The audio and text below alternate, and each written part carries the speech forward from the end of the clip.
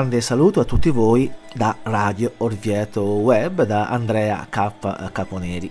Ciò che state per ascoltare è una puntata episodica, chissà, di Libridine, che è stata fin dall'inizio una storica trasmissione di Radio Orvieto Web, ideata e curata da Francesca Dragoni e da Giacomo Mencarelli, presidente della nostra associazione, il quale poi la seguirà per diversi anni ci siamo permessi di riesumarla eh, per una mm, occasione davvero davvero importante e interessante voluta dal ISAO, cioè l'Istituto Storico Artistico Orvietano, eh, del quale eh, vogliamo veramente ringraziare l'architetto Raffaele D'Avanzo, il presidente, per averci consentito di eh, poter dare eh, una veste eh, radiofonica, diciamo, di questo evento. Eh, cosa è successo? È successo che in occasione dei 100 anni della nascita di Pierpaolo Pasolini, l'ISAO ha voluto organizzare un incontro dedicato al grande poeta, scrittore, regista, polemista e tante altre cose, ma un grande intellettuale a, a, a ampio spettro italiano e tutto ciò alla Sala del Carmine, un luogo storico della cultura orvetana degli ultimi decenni. Eh, eh, si pensi per esempio alla rassegna Venti Ascensionali che eh, insomma molti di noi hanno ancora nel cuore e eh, davvero davvero centrata l'idea di affidare il non facile compito no? di raccontare Pasolini, un possibile Pasolini eh, tra i tanti a Guido Barlozzetti stimatissimo giornalista, scrittore, uomo di cultura a tutto raggio e anche eh, grande eh, divulgatore e eh, affabulatore.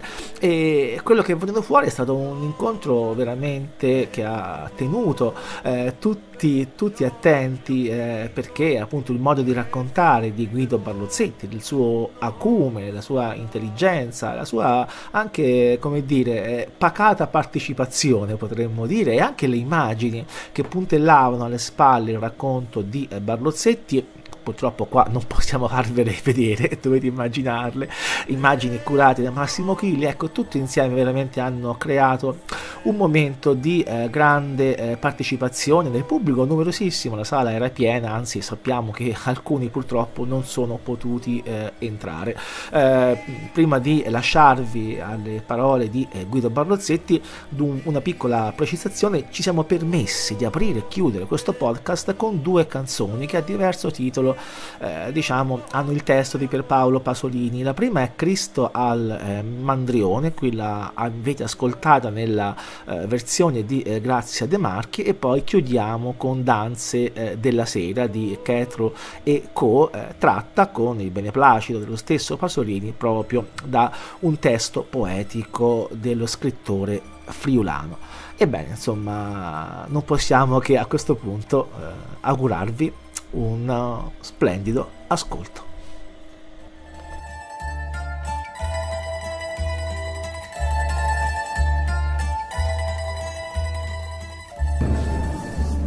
Buonasera, siamo tutti, i posti sono tutti presi perché fa molto molto piacere uh, sia a me come Isao ma credo a Guido Palazzetti e a tutti quanti. E questa è una serata molto particolare perché è veramente il centenario di, della nascita di Paolo Pasolini che in effetti ricorre domani, il 5 marzo 1922. È un personaggio così eclettico, così eh, pronto in ogni momento della cultura italiana a intervenire, eh, aveva bisogno anche di un presentatore di, di eccezione, che è Guido Barlozzetti, che ringrazio ancora tanto per aver accettato questa nostra proposta e ringrazio anche tanto l'amico Massimo Achilli che sono sicuro che avrà fatto dal punto di vista visivo un lavorone incredibile. Quindi volevo fare un grande abbraccio a Guido Parrozzetti e, e dargli eh, la parola. Buonasera.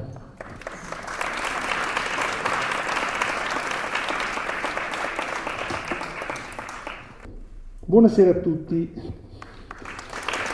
grazie, grazie per essere venuti, grazie al presidente dell'Isao Raffaele D'Avanzo che ha avuto la cortesia, l'idea di coinvolgermi in questo ricordo di Pierpaolo Pasolini. Allora, eh, l'ha ricordato appena adesso il presidente, eh, Pierpaolo Pasolini nasce domani, nasce il 5 marzo eh, del 1922, esattamente cento anni fa. Ora non è semplice raccontare Pasolini, né io racconterò Pasolini, in un'ora, un'ora e un quarto non si può certo raccontare la vita e l'opera, e già da adesso lo dico subito perché questi sono due termini che in Pasolini sono inscindibili. Forse è questa l'eredità che ci ha lasciato alla fine, cioè la sua testimonianza, il paradosso di questo intreccio inestricabile in lui tra la sua opera, quello che ha fatto, quell'arcipelago delle tantissime cose che ha fatto e la passione profonda, sanguinosa, dolorosa, sofferente, piacevole, con cui ha vissuto tutto questo.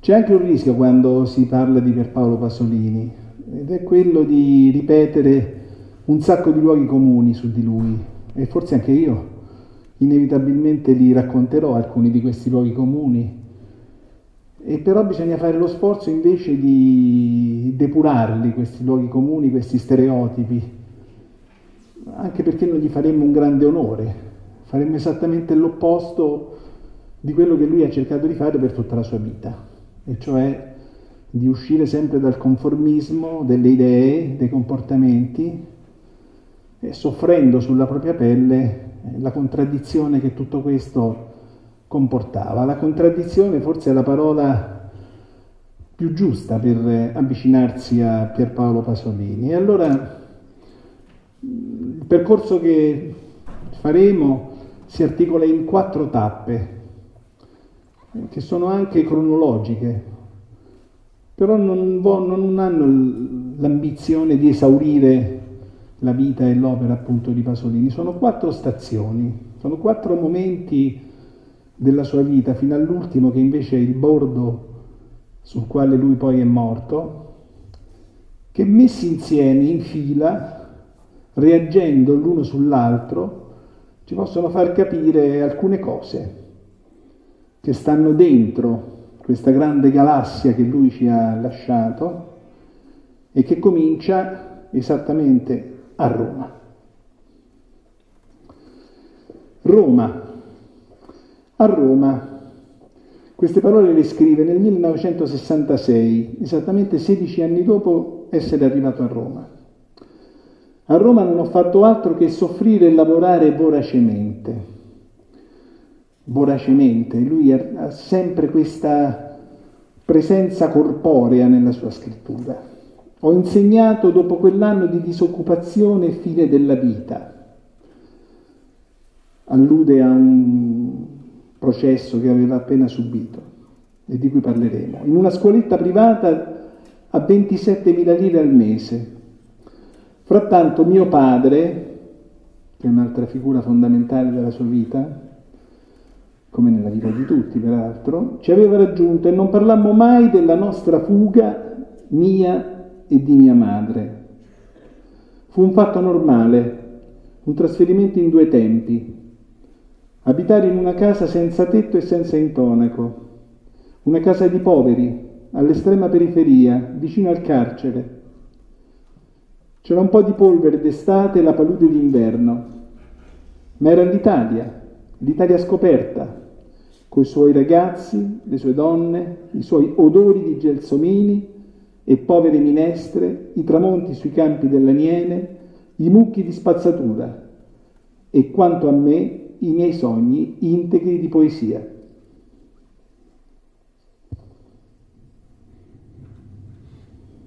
Queste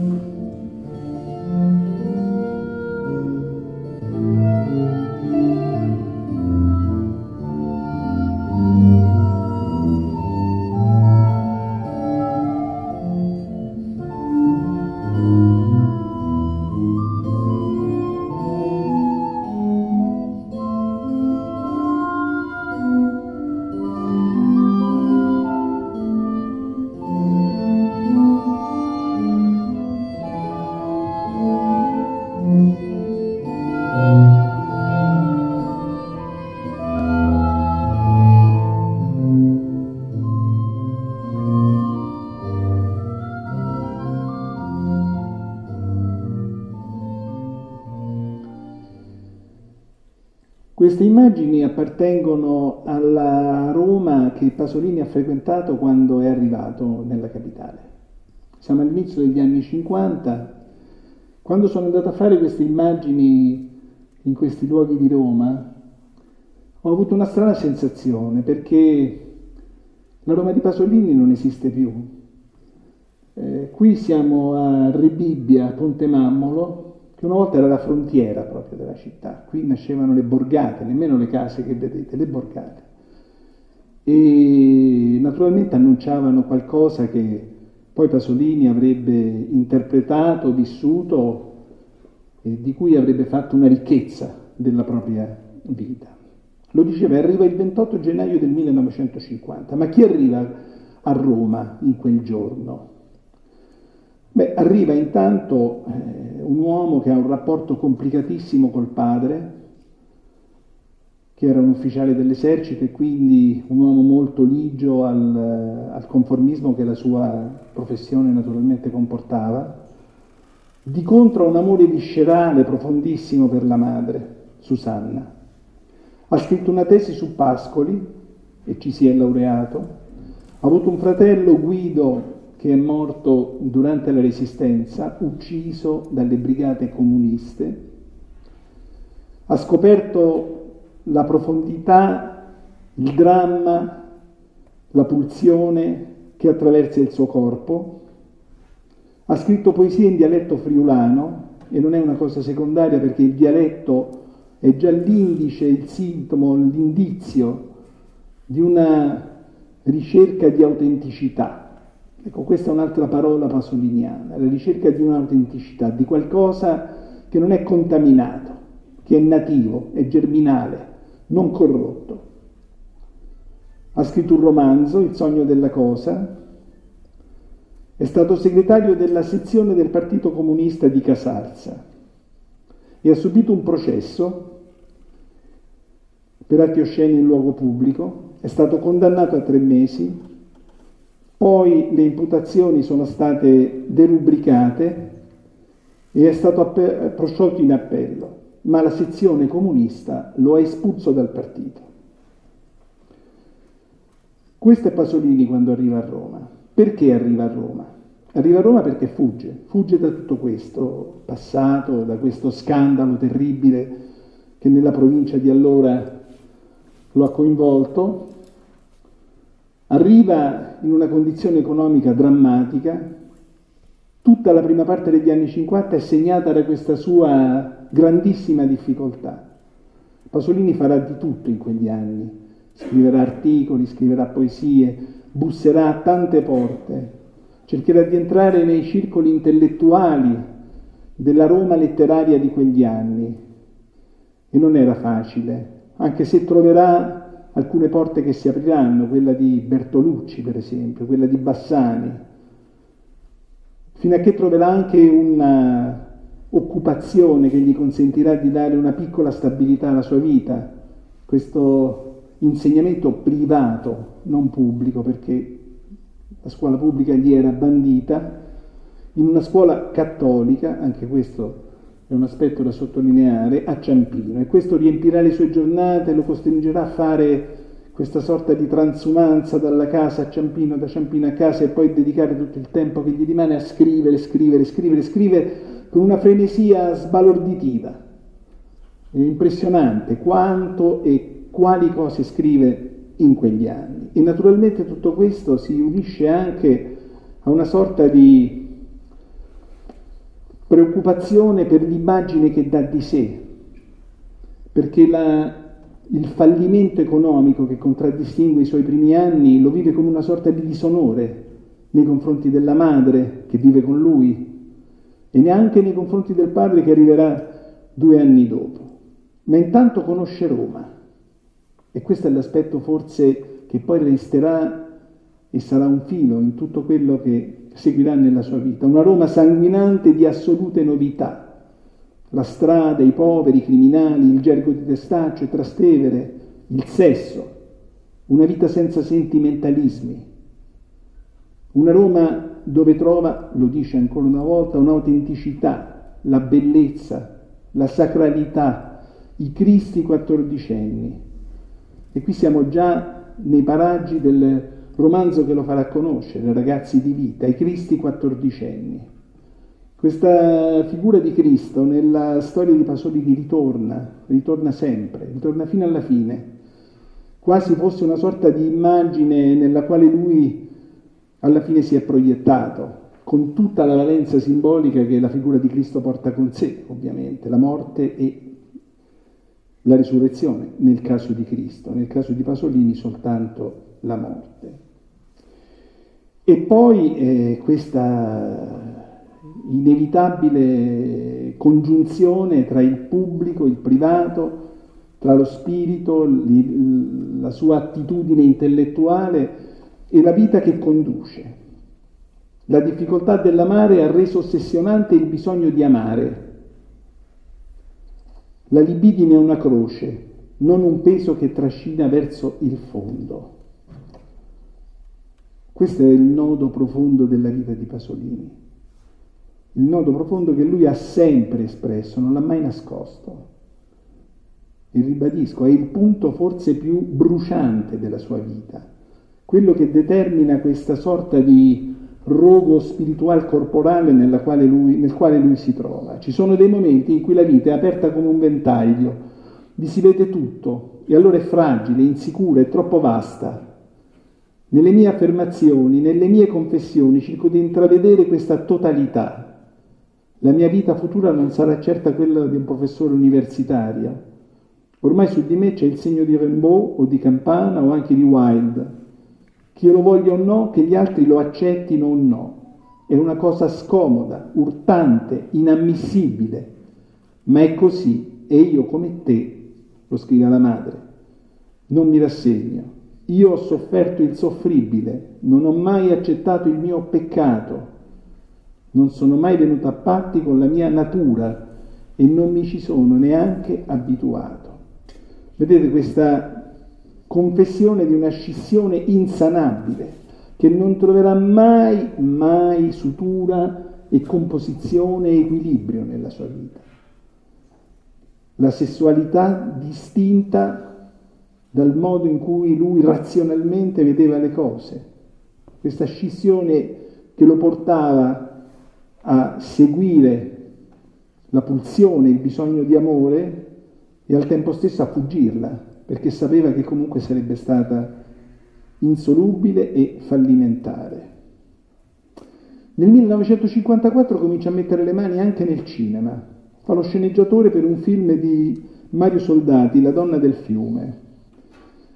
E il cinema è una sorta di ancora di salvezza, perché il cinema sono soldi, il lavoro di uno scrittore per il cinema può essere bellissimo, anzi io in linea astratta lo considero bellissimo.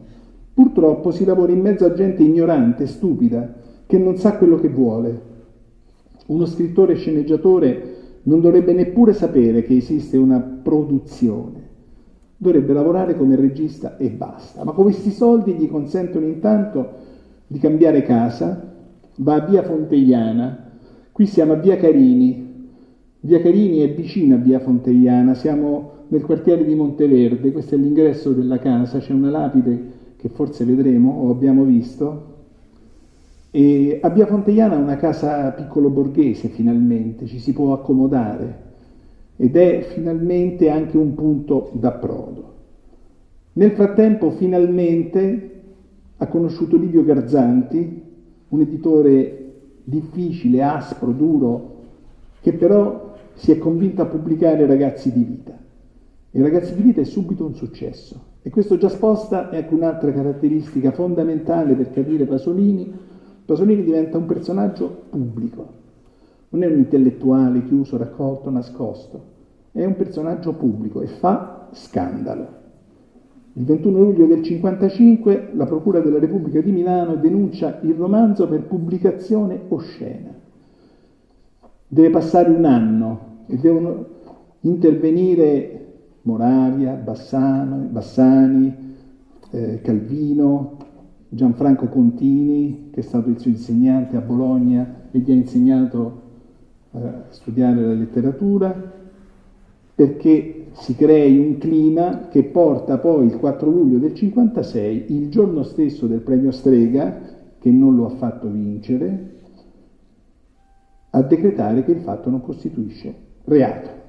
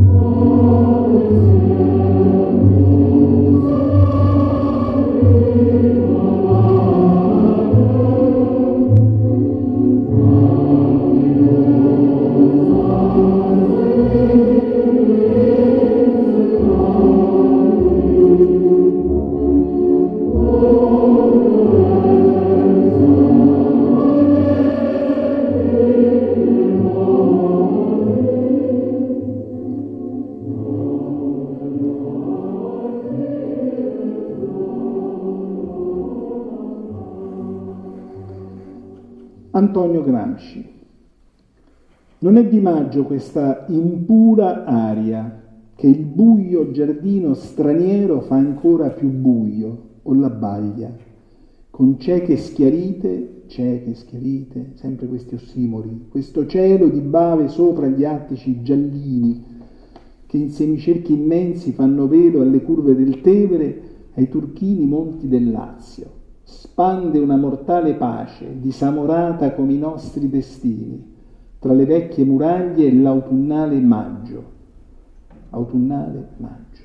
In esso c'è il grigiore del mondo, la fine del decennio in cui ci appare tra le macerie finito il profondo e ingenuo sforzo di rifare la vita. Le immagini che vedete sono quelle del cimitero cattolico di Roma, non so se qualcuno di voi lo ha conosciuto, ma è un posto straordinario. Sta accanto piazza, al piazzale Ostiense, vicino alla piramide di Caio Cestio, e ci sono seppelliti gli illustri molto poco, un poco, che non sono cattolici tra la fine dell'Ottocento e l'inizio del Novecento. in questo cimitero va Pasolini nel 1957 e incontra la tomba di Antonio Gramsci. Antonio Gramsci non è un personaggio casuale nella vita di Pasolini e nella cultura italiana.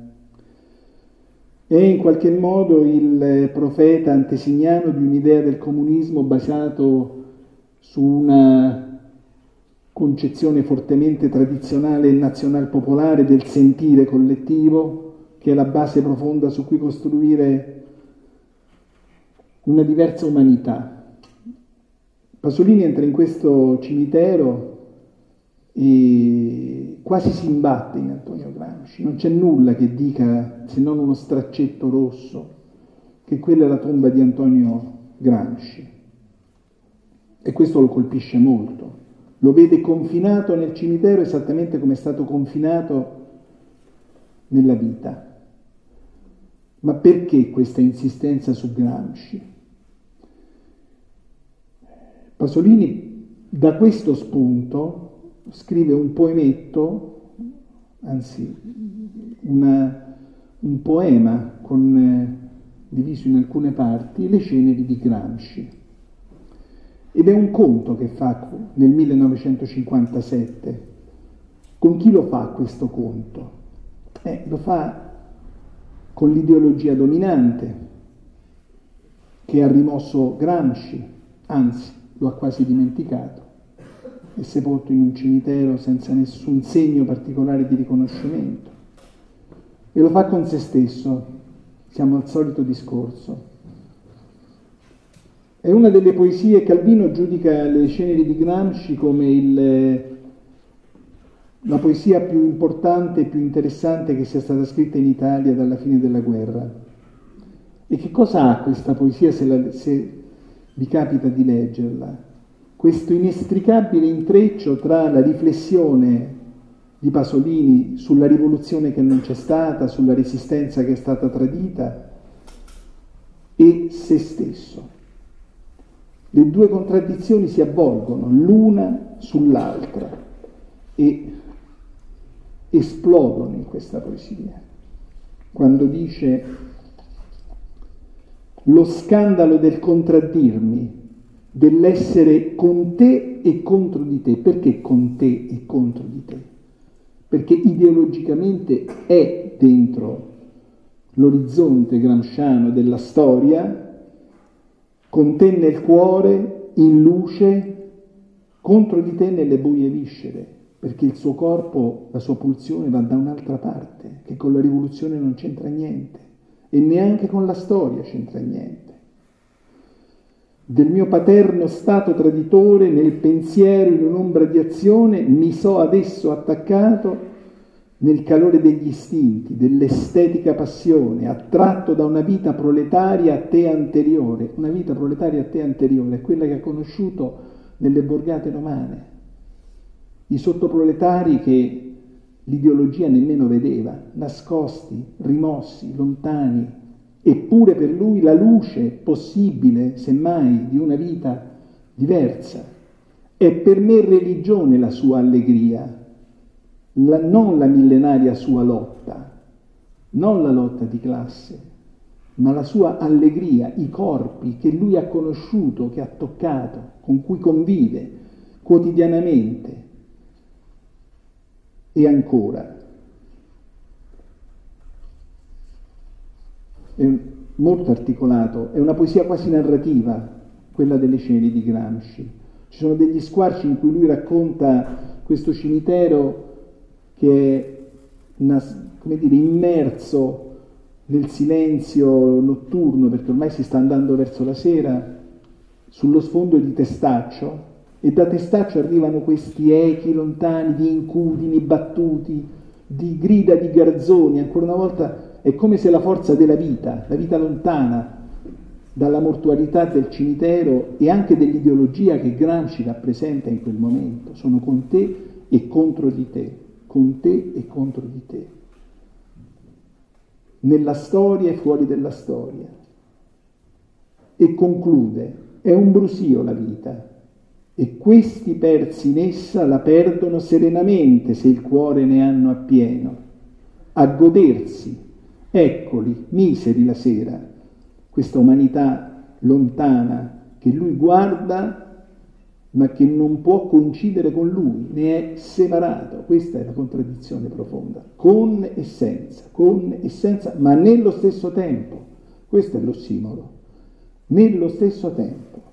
Non si può risolvere, non si può sciogliere, non c'è un elemento che prevale sull'altro e potenti in essi, inermi per essi, il mito rinasce, non la storia, il mito, il mito di, una, di un'origine pura della vita, l'allegria di cui parlava prima. Ma io, con il cuore cosciente, ecco l'altro elemento, la razionalità che entra dentro, di chi soltanto, chiedo scusa, nella vita nella storia a vita potrò mai con più pura passione operare se so che la nostra storia è finita. In un momento di profonda crisi culturale, negli ultimi anni 60, che ha fatto e fa addirittura pensare alla fine della cultura, che infatti si è ridotta in concreto allo scontro a suo modo grandioso di due sottoculture, quella della borghesia e quella della contestazione ad essa, mi è sembrato che la sola realtà preservata fosse quella del corpo. Protagonista dei miei film è stata così la corporalità popolare. Il simbolo della realtà corporea è infatti il corpo nudo e in modo ancora più sintetico il sesso.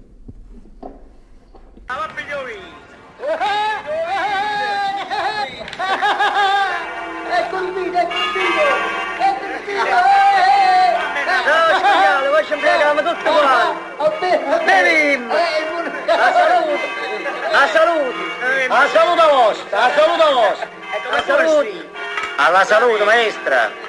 Beviamo la salute del maestro che ha fatto un'opera grande per la città nostra! Alla salute, eh? Grazie amici. La salute. E tanto auguri maestro per il prossimo lavoro! Che stuine, belle e buone, friscallate me Sant'Antonio! Ma io mi Che domando. stuine, belle e lisce, e beata a chi colpisce! Perché realizzare un'opera quando è così bello sognarla soltanto?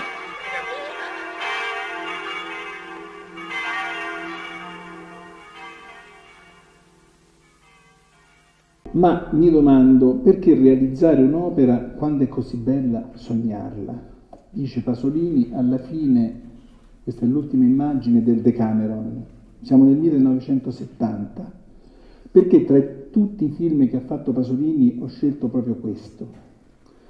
Perché questo forse è il momento in cui Pasolini riesce, si illude, spera di avere trovato una via di fuga, un piccolissimo punto di equilibrio che sta dentro quelle immagini. Perché?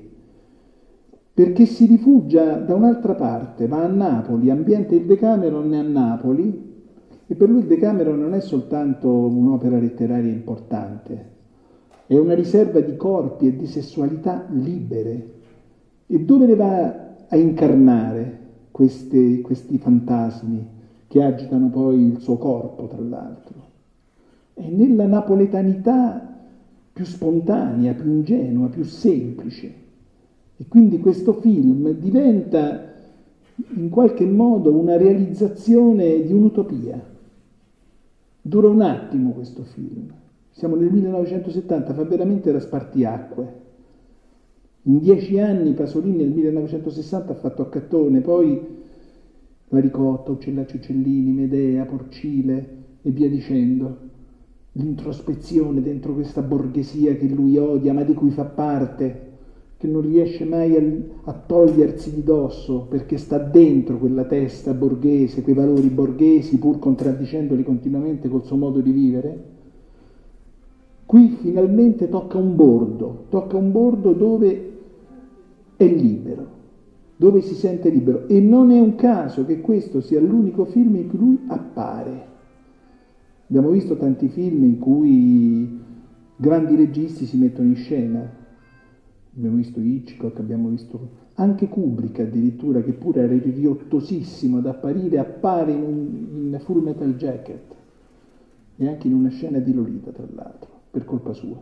Ma a parte questo, Qui Pasolini si mette in scena e non è un caso evidentemente che si mette in scena, se si mette in scena evidentemente c'è una ragione.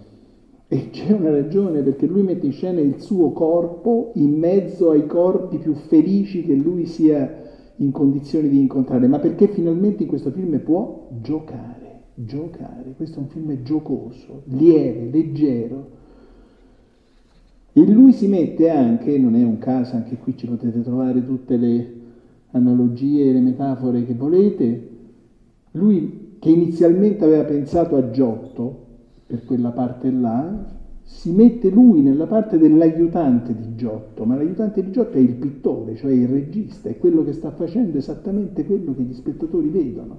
Lo dipinge su una parete e quella parete diventa la scena conclusiva del film che ha messo in scena.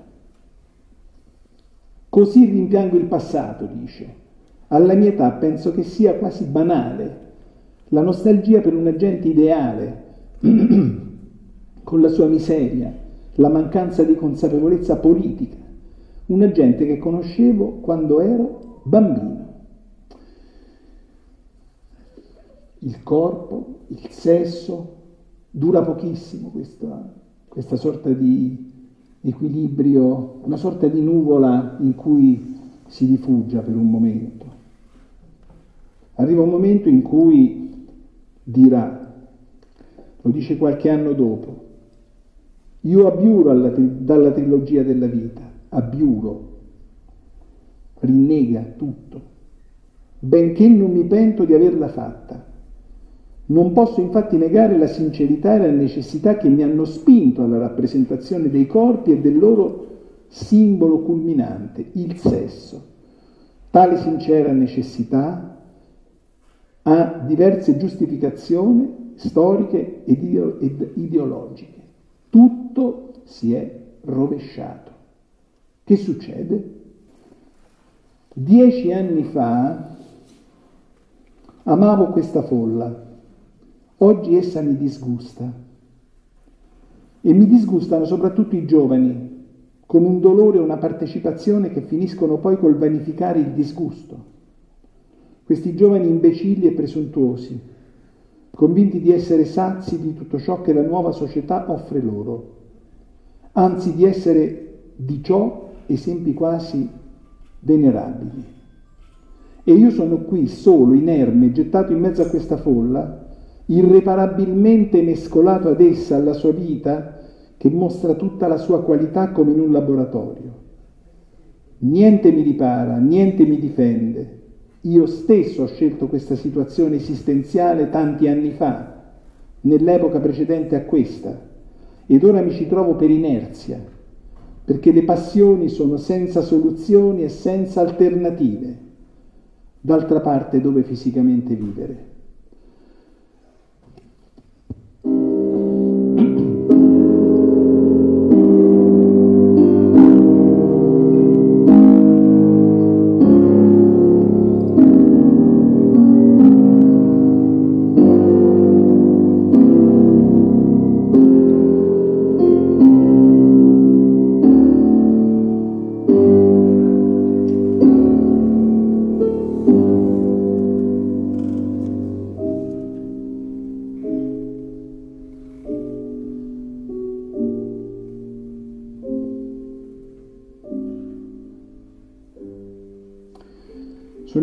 Degli anni 70, dei primi anni 70. C'è il terrorismo, c'è la democrazia cristiana, ci sono i referendum, ci sono le lotte studentesche. E il risvolto drammatico per quegli anni di quello che Pasolini fa, vede, contesta, denuncia in quegli anni. La scena rispetto a quello che abbiamo visto prima del Decameron, l'allegria di cui abbiamo parlato quando scorrevano i versi delle ceneri di Gramsci è completamente cambiata. Disgusto, dice lui. Disgusto per che cosa? Qui tocchiamo un punto fondamentale, quello che poi forse è stato più banalizzato in Pasolini, quando si ricorda Pasolini, si ricordano soprattutto gli scritti corsari e le lettere luterane. Gli scritti corsari e le lettere luterane le ha scritte tra il 73 e il 75. Tanto le parole, scritti corsari e lettere luterane, sembrerebbero un po' agli antipodi, se ci pensate bene, no? Il corsaro evoca un'idea di azione truffaldina, baldanzosa, mentre ardimentosa, mentre le lettere luterane rimandano, luterano rimanda un'idea di contrizione, di chiusura, di concentrazione dell'anima che addirittura se ci riesce arriverebbe a Dio. Pasolini è sempre molto ossimoro nelle cose che scrive e nei titoli. Gli scritti corsari appaiono sul Corriere della Sera dopo un incontro che lui ha avuto con Giulia Crespi, che era un po' il personaggio eponimo del Corriere della Sera, e con Piero Ottone, che era il direttore molto aperto di quegli anni. Questa piccola conversazione che stiamo avendo io l'ho intitolata L'ultimo, prof... L'ultimo pirata, perché non Corsaro? Perché quasi volendo con moltissima umiltà fare una chiosa a Pasolini, mi sembra più un pirata che sia stato piuttosto che un corsaro, perché un corsaro riceveva una sorta di patente dai re, i re gli davano una patente di corsa con la quale potevano affrontare i vascelli nemici di quel re e depredarli a loro piacimento. Mentre il pirata non ha nessuna legge, anche la più abietta delle leggi, ma è la sua. E quindi in questo senso è, scandaloso, più scandaloso del corsaro che in qualche modo lavora per conto terzi. E perché luterano? Beh, luterano perché Pasolini alla fine nel suo versante, nella, nel suo double face, ma nella faccia del double face, quella più razionale, più intellettuale, più impegnata, era di un rigore assoluto. E quindi luterano in questo colui che non concede nulla al compromesso e al conformismo e all'ipocrisia. Ora, naturalmente, quando usiamo queste parole dobbiamo stare molto attenti perché il rischio della retorica è terribile, Pasolini lo conosceva. E naturalmente non stiamo parlando di un santo, stiamo parlando di un uomo con tutte le sue contraddizioni che ha sempre espresso e manifestato le sue contraddizioni. Ma quello che credo vada sottolineato è proprio per un verso questa modalità, cioè prima dei contenuti, la mutazione antropologica, il fatto che il consumismo è diventato il nuovo potere che ha omologato tutti, che i giovani sono diventati tutti imbecilli, che non c'è più differenza tra fascisti e antifascisti, che la democrazia cristiana crede di avere un potere ma non ha più nessun potere perché i valori che lui chiama clericali e sanfedisti erano dei rituali già stanchi prima della rivoluzione dei consumi, adesso sono diventati niente e quindi l'esercizio del potere è solo un simulacro vuoto rispetto al potere effettivo che è quello dei consumi. Ecco, rispetto a tutto questo, rispetto a questi contenuti che possiamo anche definire appunto come contenuti dei suoi articoli che, devo ricordarlo, sono un fenomeno di massa, questi articoli non sono le ceneri di Gramsci, sono articoli che escono sul Corriere della Sera con tirature straordinarie, quindi Pasolini diventa un fenomeno di costume, con tutto il rischio che questo gli comporta, perché naturalmente questo lo espone ancora di più di quanto non sia stato. Tenete presente che Pasolini ha avuto 33 procedimenti giudiziari nella sua vita. Quindi lo scandalo ha alimentato lo scandalo ininterrottamente, ma questa stagione degli scritti che lui eh, diffonde attraverso un mezzo di comunicazione di massa allora centrale nella composizione mediatica di allora, come un giornale, il più prestigioso giornale italiano, il Corriere della Sera, il più perbenista, il più borghese. Anche qui c'è una contraddizione, no? Entra dentro il Corriere della Sera, la sente questa contraddizione, la vive questa contraddizione, ma sente ancora più forte il bisogno di testimoniare questa ostilità al mondo che lo circonda e lo fa dalle colonne del giornale più importante eh, d'Italia. E lo fa con veemenza, lo fa con un'esibizione di sé che a un certo punto lo porta a dire e a scrivere un famoso articolo, quello dell'io so. Io so chi è che ha organizzato le stragi, io so chi c'è dietro a tutto quello di terribile che è successo nella storia italiana, non posso farne i nomi, ma io li so. Lì raggiunge forse il, il punto di maggiore contraddizione col sistema politico, in particolare con la democrazia cristiana ovviamente, ma in una sorta di solitudine. Anche qui forse è bene che ricordarli quegli anni, no? Pasolini era stato espulso dalla sezione del Partito Comunista di Casarza. Il Partito Comunista nei confronti di Pasolini ha avuto un atteggiamento molto ambiguo, quando esce Ragazzi di vita viene attaccato brutalmente perché accusato di torbido narcisismo.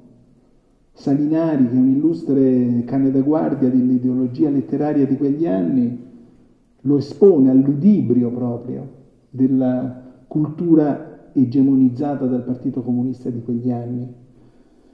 E anche in quegli anni lì, lui che pure si dichiarava comunista, quando svolgeva il suo ragionamento sequenziale e conseguenziale, arrivava alla conclusione che dentro il potere ci stavano tutti, che in questo potere che trasversalmente aveva mutato antropologicamente la società italiana, il rischio profondo è che non c'era più differenza tra la democrazia cristiana e il Partito Comunista. Sì, forse il Partito Comunista era ancora una oasi, forse lo era, a volte lo dice, era diverso, ma sapeva forse anche che quella diversità era labile, era friabile, era, era sul punto di svanire di fronte ai meccanismi della società di cui lui stava parlando. Tenete anche presente un'altra cosa che va sottolineata, le idee di Pasolini non sono idee rivoluzionarie dal punto di vista intellettuale, c'è tutta una tradizione di studi da Marcuse, per intenderci, agli studi sulla comunicazione di massa, che hanno attaccato con maggiore profondità e ancora più violenza argomentativa i fenomeni di cui lui parla. Quindi la sua differenza non sta nelle cose che dice, ma nel fatto che un intellettuale che dovrebbe stare al suo posto le dice in pubblico e le dice in pubblico mettendo in gioco se stesso, non semplicemente come un occasionale editorialista di un qualunque giornale. Questa è la grande e strappata vita, opera di Pasolini negli scritti corsari e nelle lettere luterane. C'è ancora un punto di contraddizione, lo voglio ricordare perché è importante, qualcuno forse lo ricorderà, la sua posizione sull'aborto. Pasolini di quei referendum del Partito Radicale condivide tutto, meno quello sulla legalizzazione dell'aborto. E allora ci potremmo chiedere perché? Perché? Perché dice no all'aborto? E lo dice con sofferenza, lo dice. Perché? Perché nell'aborto sente un'insopprimibile lacerazione nei confronti della sacralità della vita. Questo è un elemento che attraversa tutta la storia di Pasolini quando abbiamo parlato dei ragazzi di Borgata, della loro allegria, c'è questa idea di fondo che c'è un punto sacrale della vita che la storia non può che contaminare. La storia, il tempo interviene e eh, sporca quello che in origine è puro. E la vita nella sua origine per Pasolini è pura, anche, lo dice anche, anche in un feto c'è la purezza della vita. E non c'è legge che possa intervenire per cancellare quella purezza, violentemente.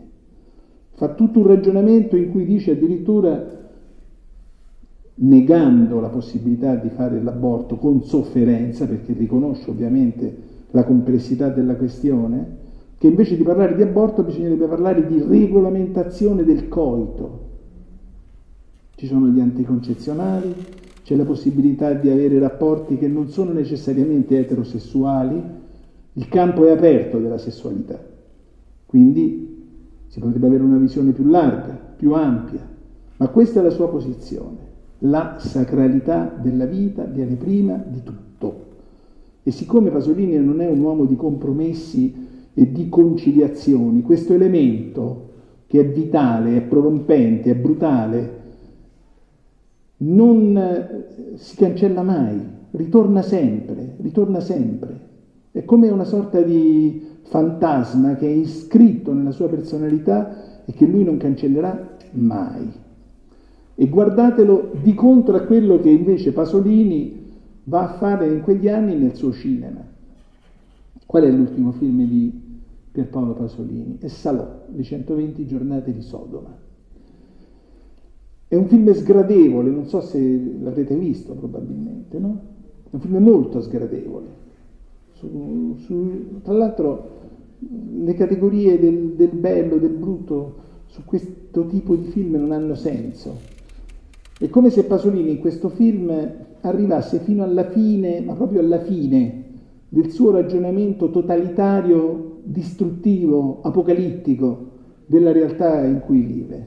E non a caso prende un testo, quello del Marchese de Sade, le 120 giornate di Sodoma, che sono l'esercizio più razionale sul rapporto tra il potere, il male e il sesso.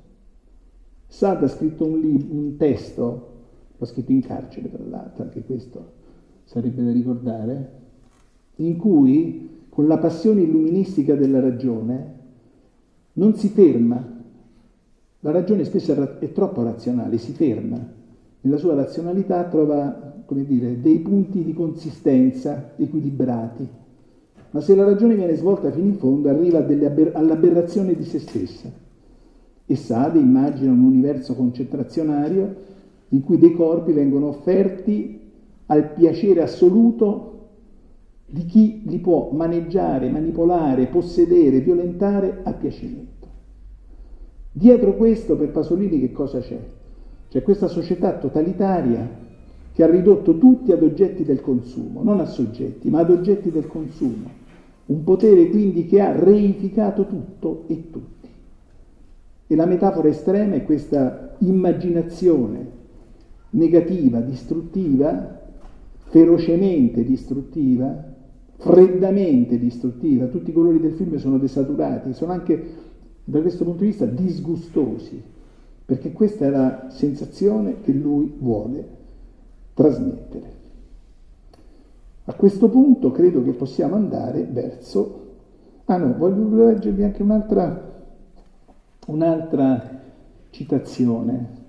Inutile scioccare la borghesia, ecco questo proprio per riprendere quello che dicevo anche su questi interventi corsari luterani, perché la, la contraddizione del, dello shock in una società che riduce tutto a consumo è inevitabilmente l'addomesticamento dello shock. Tutto viene digerito da questa società, anche lo shock, lo scandalo più dirompente viene metabolizzato dal grande potere del consumo. Tutti si illudono di essere liberi, di poter fare quello che vogliono, di consumare quello che vogliono, in realtà obbediscono semplicemente ad una macchina del potere che si esercita attraverso l'offerta di un supermercato nel quale soddisfare tutti i presunti bisogni della vita. Arriva anche quando si domanda ma che cosa possiamo fare? Scrive le famose lettere a Gennariello nelle lettere luterane, che è un, un giovane napoletano a cui scrive una specie di decalogo su quello che si potrebbe fare, che lui potrebbe fare perché è ancora giovane, forse ancora, forse potrebbe non contaminarsi nel mondo che lo circonda, arriva a chiedere l'abolizione della scuola media dell'obbligo e della televisione. Sono proposte provocatorie, ma nella scuola media e nella televisione, vede, nella televisione soprattutto, vede proprio la macchina più biecamente conformistica, nemmeno borghese, proprio ormai consegnata completamente alla cultura del consumo. E a questo punto possiamo fare l'ultimo passo, direi.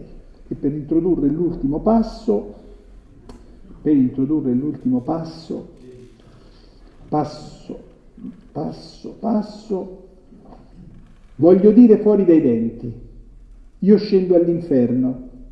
E so cose che non disturbano la pace di altri, so cose che non disturbano la pace di altri, ma state attenti. L'inferno sta salendo da voi. È vero che viene con maschere e con bandiere diverse.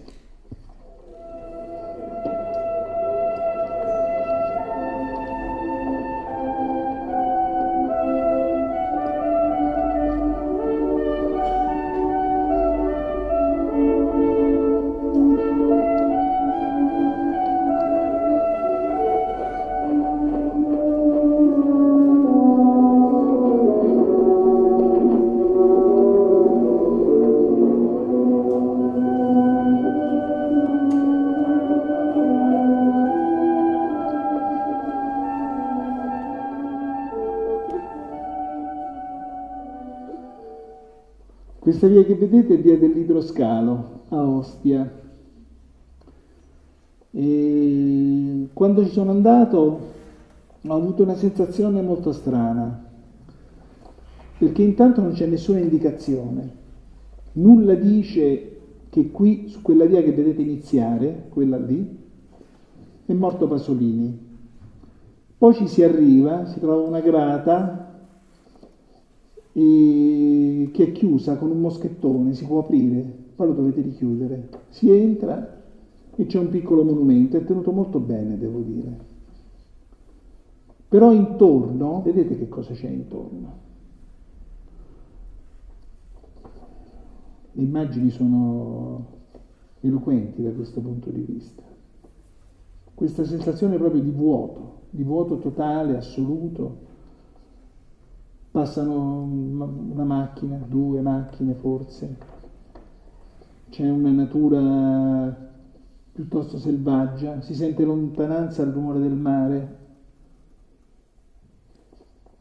Come finisce in questo posto Pierpaolo Pasolini? Il 2 novembre del 1975 e finisce in questo modo. Vi racconto l'ultimo giorno di Pasolini. Dorme fino a tardi, mangia qualcosa con Graziella, che era la sua nipote, con Nico Naldini, il cugino, e Susanna, sua madre. Verso mezzogiorno telefona un giornalista della Domenica del Corriere. Il giornalista gli dice che sta preparando una tavola rotonda sulla censura e lui dice di, che vuole partecipare, si debbono solo mettere d'accordo sulla data. Anzi, gli chiede di spostarla nella settimana successiva. Poi arriva Grimaldi. Grimaldi è il produttore di Salò, che non è ancora uscito. Discutono di tagli possibili, perché forse c'è troppo sangue. E anche le scene di escrementi forse sono eccessive. E Pasolini è d'accordo, è d'accordo nel fare questi piccoli tagli nell'edizione del film. Poi arrivano Laura Betti e Nino Davoli, Ninetto Davoli. Sapete del rapporto lunghissimo che Pasolini ha avuto con, sia con Laura Betti, ma soprattutto con Ninetto Davoli, che è stato forse con Franco e Sergio Citti la rappresentanza di quel sottoproletariato che lui ha amato. Lui ha amato Ninetto Davoli. E anzi un momento di aspra di difficoltà nei loro rapporti fu quando Ninetto Davoli si sposò. Laura Betti vorrebbe convincerlo ad andare al cinema. Lui dice vedremo, non è molto convinto di andarci. Intanto la nipote Graziella lava la GT2000, la sua macchina. Pasolini amava correre, gli scrittori amano correre in macchina. Italo Calvino era un pazzo, correva come un pazzo, per esempio. No. È importante questo lavaggio della macchina perché quando successivamente a quello che sta per accadere Graziella verrà interrogata, dirà di non avere trovato assolutamente un plantare ortopedico e un golf verde che invece verranno ritrovati nella macchina di Pasolini. E da qui ipotesi su chi, perché, per come e via dicendo. Poi nel pomeriggio Pierpaolo lascia la casa e va a un appuntamento. Non dice con chi e nessuno, per quante ricerche siano state fatte, è riuscito a ricostruire da chi sia andato e chi abbia visto. Alle 4 del pomeriggio arriva Furio Colombo, gli fa un'intervista a tutto, vedete che giornate anche, insomma, arriva Furio Colombo, gli deve fare un'intervista per tutto libri. Ripensandoci dopo dirà che lo trova corretto ma distante, come se la sua testa stesse da un'altra parte.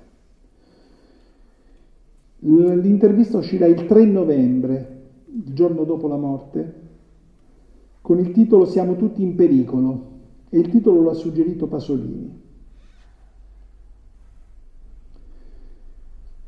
Dopo l'intervista non va al cinema con Laura Betti, va a cena con Ninetto Davoli e la sua famiglia, va da Pommidoro, che è un ristorante dalle parti di San Lorenzo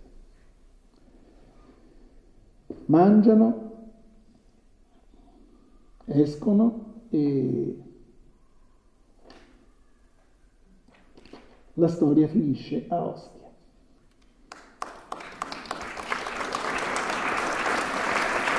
Grazie,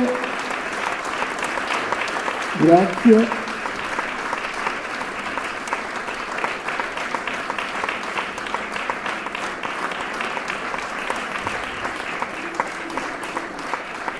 Achilli, vieni qua Achilli. Massimo, grazie.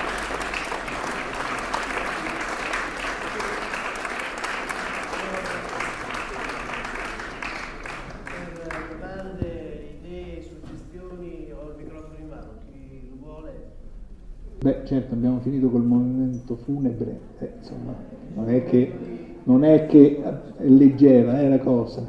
D'altra parte, quando si parla di Pasolini, che pure era un uomo gioioso e divertente, era divertente Pasolini, certo, con eh, la complessità che abbiamo raccontato. Era un uomo vitale, giocava a pallone, si divertiva, era incazzoso quando giocava a pallone, menava pure. Va bene? No, solo chiederti Ah. quanto ci mancano gli articoli di fondo di Pasolini, che è stato sempre anticipatore straordinario di eventi che viviamo anche in questi giorni, secondo te? Ma io Pasolini lo- purtroppo lo ritengo un intellettuale, per un purtroppo, e però per fortuna, per un verso lo ritengo molto novecentesco, cioè lui sta dentro le contraddizioni del Novecento, l'ideologia, eh, la sinistra, la destra, quei paradigmi che regolavano, e la vita dell'intellettuale anche, no? che era combattuto tra l'impegno, la desistenza.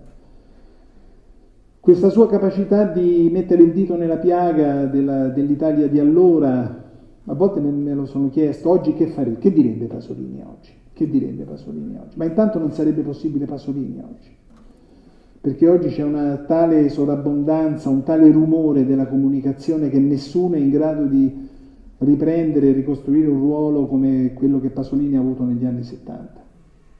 Una- la sua era una voce che si sentiva, una voce che si sentiva. Oggi abbiamo un rumore di voci, di tante voci che si sovrappongono, si, amalgamano, alla fine fanno, ne, traiamo anche se ci sono delle voci giuste, meno giuste, interessanti, sconfortanti, ognuno poi dai suoi giudizi, però alla fine ne traiamo l'impressione di un amalgama ininterrotto, di una sorta di grande rumore di fondo. Ecco. Non so se Pasolini oggi sarebbe stato in condizione di bucarlo, certamente però Certo, sono le letture postume che uno dà della vita di una persona, quindi hanno tutta l'arbitrarietà del caso. Però leggendo le cose che lui ha scritto in quegli anni e vedendo il, il film che ha fatto, hai la sensazione che veramente lui si stava infilando in, un, in una parabola a precipizio senza ritorno. Come se in qualche modo lui alla fine in questa fuga dall'eros eh, inconciliabile della sua vita non potesse che precipitare proprio dentro Thanatos, veramente, dentro la morte più distruttiva, cioè questa, questo estremo del godimento e della morte in cui lui inevitabilmente in quel momento stava infilandosi. Poi le vicende della morte di Pasolini sono un capitolo assolutamente scivoloso, ambiguo, processi vari, eh, prove, non prove, testimonianze, Pelosi che è stato il suo assassino, che forse da solo, con altri. Una cosa che non ho ricordato, lui scrive in quegli anni un libro Petrolio, non lo scrive, lo, lo prepara questo petrolio, che è una sorta di atto d'accusa contro un potere che quello poi della Montedison sostanzialmente era, la corruzione che legava quel sistema alla politica, quindi anche lì poi le indagini sono andate per vedere se ci fossero dei legami, ci fossero dei, degli occulti manovratori di quella notte. Non possiamo dirlo, non possiamo dire assolutamente niente, sarebbe sbagliato anche ipotizzare un'ipotesi più vera delle altre però è un fatto, insomma, lui è morto in quel modo terribilmente, tra l'altro, ferocemente ammazzato, ferocemente maltrattato nel suo corpo. E questa è un'evidenza che in qualche modo se uno letterariamente avesse dovuto scrivere la vita di un uomo che ha così, con così profonda lacerazione vissuto la sua vita, ci avrebbe messo quella morte. Ci avrebbe messo quella morte. Quindi la sua vita in qualche modo è quella che lui ci consegna e di quella noi dobbiamo parlare. La funzione dell'intellettuale che lui ha assolto è una funzione dell'intellettuale contraddittoria come tutta la storia degli intellettuali che hanno a che fare con una società di consumi e di massa. Per un verso ci stanno dentro, per un verso cercano di starci fuori. Questa è la contraddizione che Pasolini ha vissuto e che non ha risolto ovviamente. Ci stava dentro, lo, ne soffriva profondamente e però al tempo stesso sentiva che la società di, che lo circondava era una società in cui non si riconosceva e che tra l'altro lo respingeva. Lo respingeva. Gli ultimi anni della vita di Pasolini sono gli anni di una solitudine assoluta. Soffre moltissimo, Moravia lo attacca, Calvino lo attacca, Calvino lo, lo rimprovera di essere l'esponente dell'Italietta, gli dice lui soffre moltissimo per questo giudizio, dice ma come l'Italietta? L'Italietta è la piccola borghesia. Eh. A me dici Italietta, io che ho scritto le ceneri di Gramsci, che ho fatto a Cattone, ho scritto Ragazzi di vita, l'Italietta. Quindi c'era anche una... Pasolini era un corpo espunto anche dalla classe intellettuale di quegli anni, dagli intellettuali che facevano un po' le mosche cocchiere, insomma, in quegli anni. E in questo ha anche sofferto moltissimo. Un altro elemento che non va sottovalutato, questo isolamento in cui lui alla fine eh, si è trovato.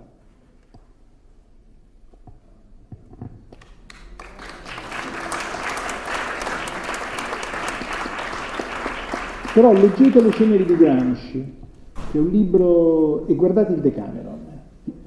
Cioè ricordiamo Pasolini in questi momenti anche felici, gioiosi, no? che fanno parte del, del, prisma della sua personalità. Riguardate Accattone, che è un film fresco, è, è, una, è una, fontana d'acqua fresca Accattone, nonostante che alla fine lo fa morire come nelle, nelle, parabole letterarie succede, ma è, è, veramente da questo punto di vista un terreno fertile primigenio.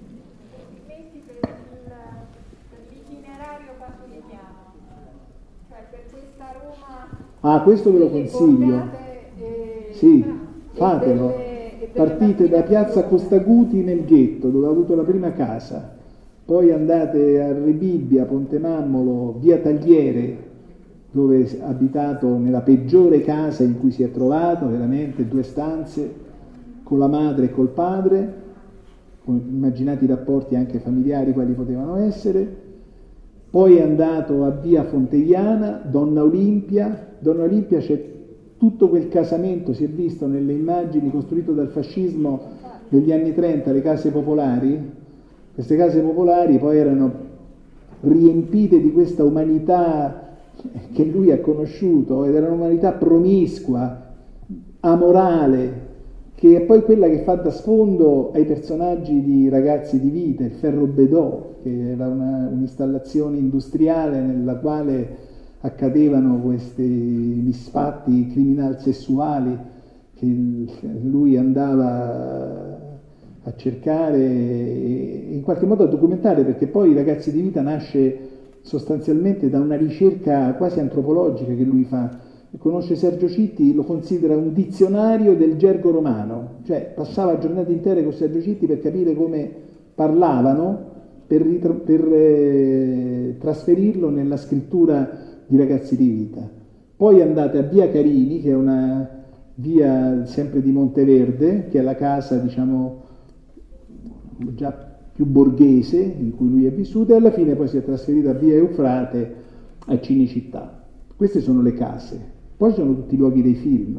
Eh, I luoghi dei film praticamente che a Roma, i luoghi di accattone eh, sono le borgate da Primavalle, eh, l'Ostiense, il ponte di Sant'Angelo da cui si tuffa eh, Franco Citti eh, che fa il eh, fenomeno del tuffo eh, e poi eh, secondo me è, è, giusto, è giusto e istruttivo andare a vedere il luogo dove è morto e respirare quest'aria molto strana che caratterizza quel lembo di via dell'idroscalo.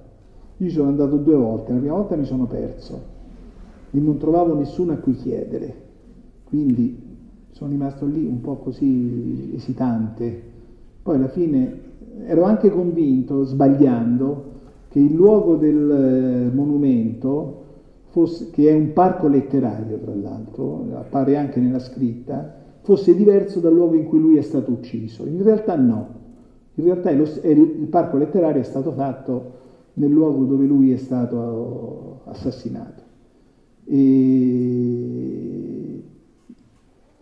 quello che si trova è questo vuoto, questo vuoto silenzioso e questo colpisce, colpisce molto.